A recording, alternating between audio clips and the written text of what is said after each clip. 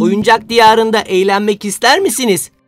Çocuklar zihinsel ve bedensel gelişimine katkı sağlayan atölye çalışmalarımızda hem keyifli vakit geçiriyor, öğreniyor hem de renkli atmosferin büyüsüne kapılıyor.